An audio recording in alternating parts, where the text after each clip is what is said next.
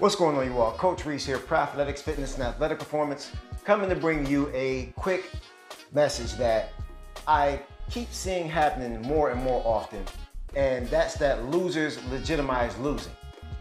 Losers always legitimize losing, or they try to discredit the winner or someone who's becoming great.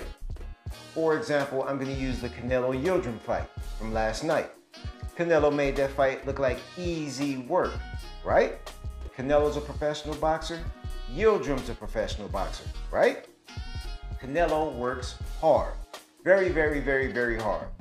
Just as anybody else out here who's winning and creating greatness works hard. But yet, you'll get people on the opposite side saying that Canelo cherry picked, which Yildirim was a mandatory. But Canelo cherry picked because he made the fight look easy. It's not that you're gonna give him credit for his hard work and his dedication to the sport and to the craft, but you have to consequent him by saying he cherry picked. Sound familiar?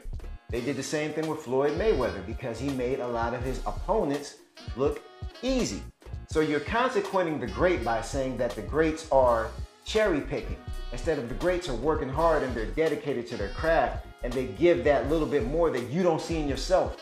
And you side more so with the person who's losing, the person who didn't work as hard, the person who didn't dedicate themselves to the craft. Yildirim is a professional boxer. That's all these guys fought. Floyd Mayweather fought professional boxers. But yet, instead of awarding and applauding greatness, you would rather side and legitimize with the losers. That's a losing mentality. That is a losing mentality. And that affects us heavily out here. Same thing in the music industry with your Jay-Z's and all the successful people, right? They sold their soul to the devil. It's just no possible way that they worked hard. They dedicated themselves to the craft. You know, 50 Cent, uh, Beyonce, they all just sold their soul to the devil. That's the only logical way that they got where they're, where they're getting right now. Or they've got what they've gotten right now. You all have to stop consequenting or trying to find the flaw in the people who are succeeding and becoming great and actually look at what the loser did wrong. Stop trying to point fingers at greatness. They're working hard. Their job is to make it look easy. You're mad that these people are making it look easy, which they're not. You just don't see what they're putting in behind the scenes. You don't see the hard work, you don't see the hours. All you see is a reflection of yourself in that loser you relate more to the loser. That's something that you got to fix internally. Get out of that losing mentality, get into the winning mentality. All right, that's pretty much all I have to say right now.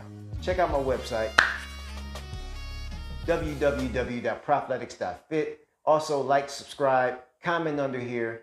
Let's get to talking. Let's get to killing this losing mindset. Let's get to the winning mindset. Let's get to actually working hard. All right, let's do it.